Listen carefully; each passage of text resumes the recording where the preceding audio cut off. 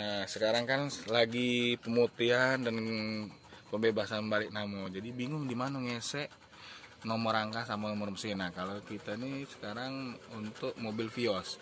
Kalau untuk apa namanya ngesek nomor rangka itu ada di bawah kursi driver.